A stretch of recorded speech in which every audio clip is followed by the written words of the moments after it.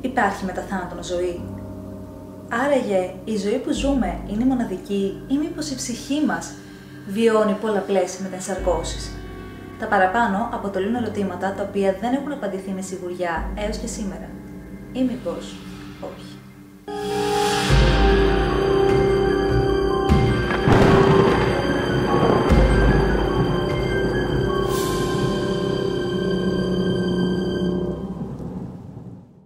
Γεια σας, γεια σας αγάπες! Καλώς ήρθατε πίσω στο κανάλι. Μπήκε ο Σεπτέμβρης και ξεκινάμε πολύ δυναμικά τη σεζόν με μια καινούργια σειρά εδώ στο κανάλι, την οποία όπως είδατε και από τον τίτλο ονόμασα Dark Kiri, όπου Kiri σημαίνει ομίχλη στα ιαπωνικά. Ε, σεξι!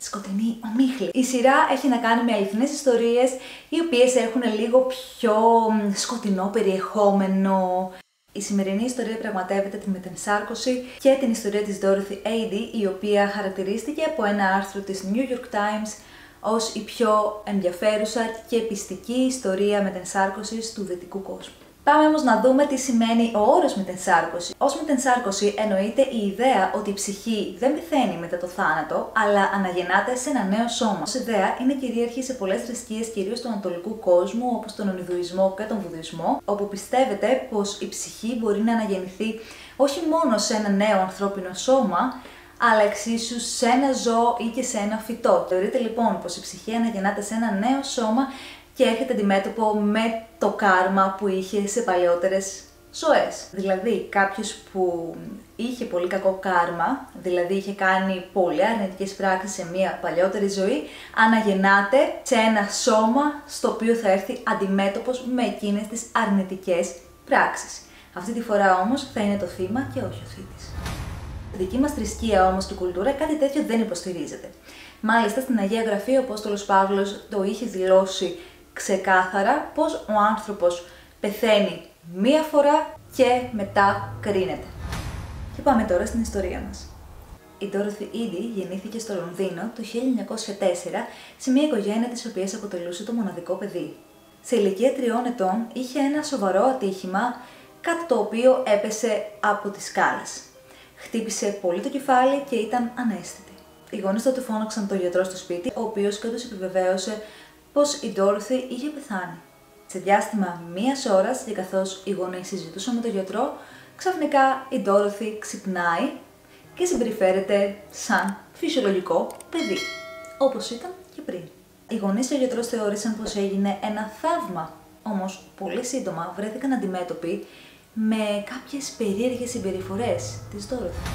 Μπορεί να φαινόταν φυσιολογική, κάτι όμως που επαναλάμβανε πάρα πολύ συχνά ήταν πως δεν ένιωθε πλέον ότι βρίσκεται στο σπίτι της και ζητούσε απεγνωσμένα από τους γονείς της να την γυρίσουν στο σπίτι.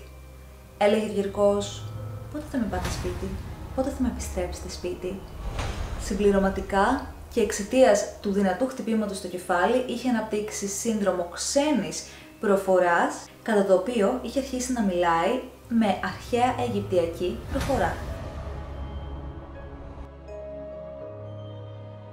Το περίεργο όμως είναι πως μέχρι την ηλικία των 3-4 ετών δεν είχε καμία απολύτως γνώση περί της Αιγύπτου.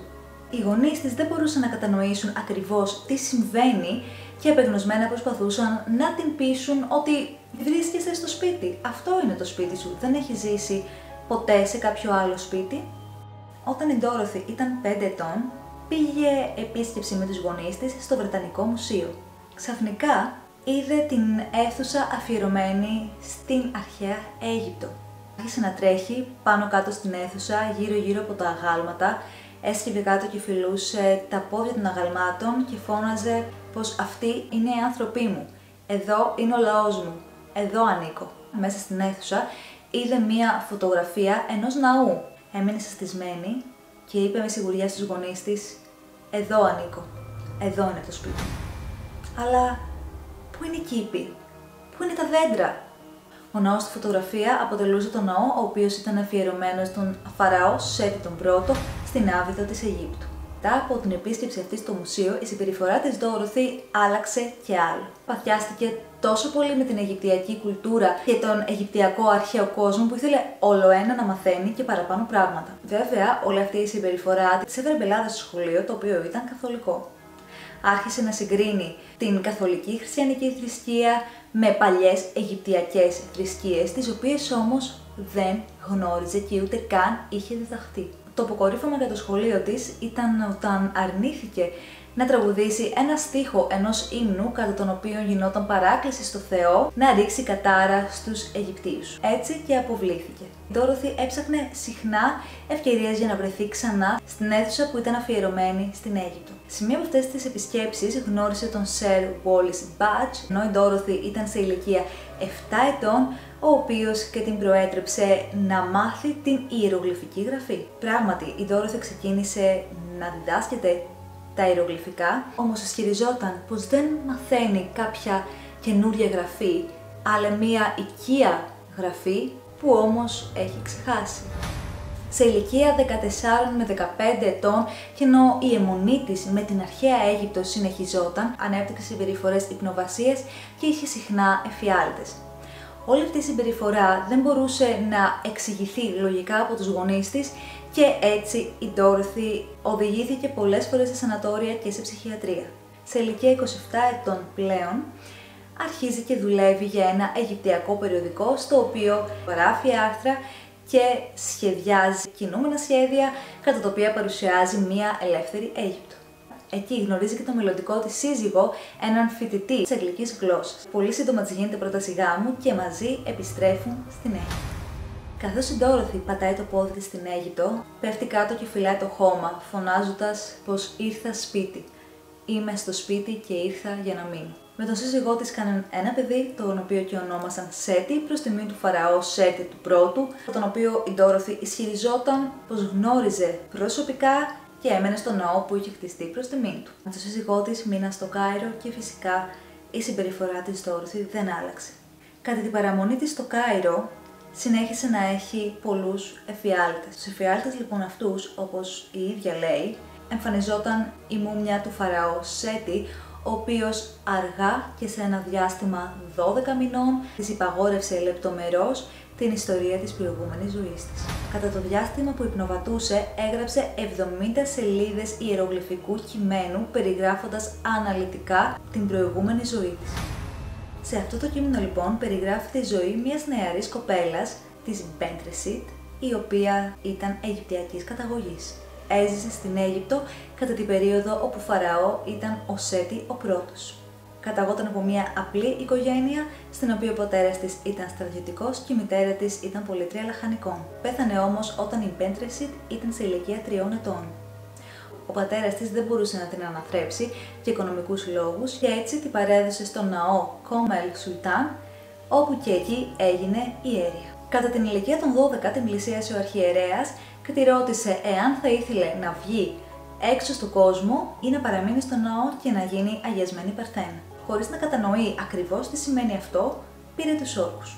Μία μέρα λοιπόν επισκέφθηκε το ναό ο Φαραώ Σέτι ο πρώτος. Με την Πέτρεσιτ, η οποία τότε ήταν 14 ετών, κάνανε μία μεγάλη βόλτα στους κήπους του ναού, όπου και ερωτεύτηκαν και η Πέτρεσιτ έμεινε έγκυος. Όταν κατάλαβε πως εγκυμονούσε, μίλησε στην αρχιερέα και του είπε ποιος ήταν ο πατέρας. Ο ίδιος τότε είπε πως αυτό αποτελούσε πολύ μεγάλη βλαυσιμία στο πρόσωπο της θεάς Ισίδο και η πιθανότερη ποινή σε ένα δικαστήριο θα ήταν ο θάνατος.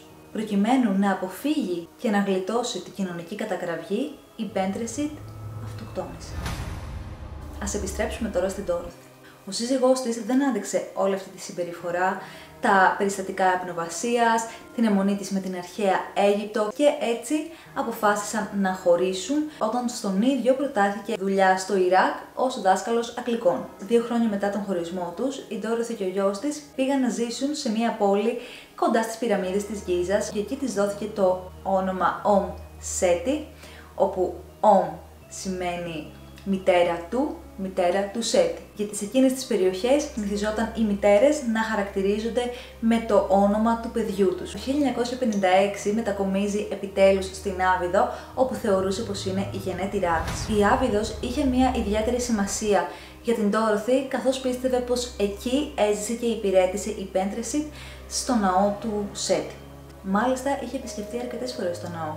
Μία από εκείνες τις φορές, ο επιθεωρητής του ναού, ο οποίος και είχε ακούσει όλες τις θεωρίες της ε, Dorothy ότι είχε ζήσει στο ναό, θέλησε να την περάσει από μία δοκιμασία. Μπήκαν σε ένα δωμάτιο του ναού χωρίς να υπάρχει κανένα φως και της είπαν σε συγκεκριμένα σημεία του δωματίου να υποδείξει τις τοιχογραφίες που βρίσκονταν εκεί. Η Dorothy πέρασε με επιτυχία τη δοκιμασία, υποδεικνύοντας μάλιστα και τοιχογραφίες οι οποίες δεν είχαν ανακαλυφθεί μέχρι τότε. Αργότερα, η Dorothy βοήθησε πολλούς Αιγυπτιολόγους στις ανασκαφές. Όπως η ίδια έλεγε από μικρή, στο ναό του Σέτη του πρώτου υπήρχε ένας μεγάλος κήπος.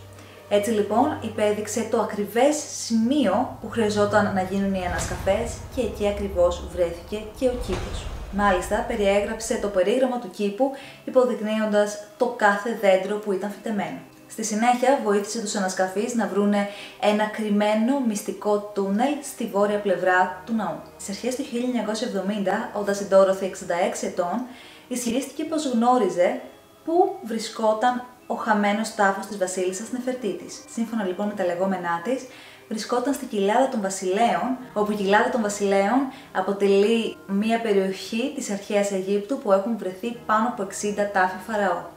Είπε λοιπόν πως βρίσκεται κοντά στο τάφο του Τουτανχαμών, εκεί όμως που κανένας δεν θα σκεφτόταν να ψάξει.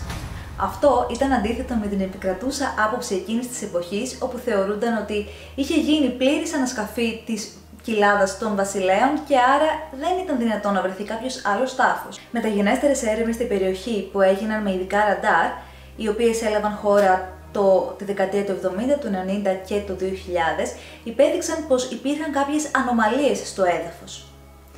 Ένα έγγραφο που δημοσιεύτηκε το 2015 από τον Αιγυπτιολόγο Νίκολας Ρίβς επιβεβαιώνει πως μία τέτοια ανομαλία στο έδαφος θα μπορούσε να θεωρηθεί και τάφος. Τίποτα όμως μέχρι σήμερα δεν έχει ανακαλυφθεί.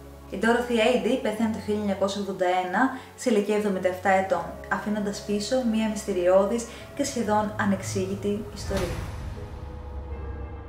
Και αν η μετενσάρκωση είναι κάτι το αληθές, τότε γιατί οι υποστηρικτές της αδυνατούν να δικαιολογήσουν την απουσία μνήμης των παλαιότερων ζώων; Αν κάποιος έρχεται στον κόσμο για να βελτιώσει το αρνητικό του κάρμα, πώς θα το καταφέρει αν δεν θυμάται ποιες πράξεις θεωρήθηκαν αρνητικό κάρμα και αν όλη η ιδέα της μετενσάρκωσης είναι ψευδής, ποια η ουσία ύπαρξης της υπνοθεραπείας και της θεραπείας αναδρομής σε προηγούμενες ζωές; Αυτή λοιπόν ήταν η ιστορία με την σάρκωση της Dorothy Eddy. Εάν σας άρεσε και θα θέλετε να δείτε και άλλες παρόμοιες ιστορίες εδώ στην καινούργια μου σειρά στο κανάλι, την Dark Kiri, μην ξεχάσετε να κάνετε like και subscribe. Εμείς θα το πούμε πολύ σύντομα σε ένα καινούριο βίντεο. Μέχρι τότε, φιλιά πολλά!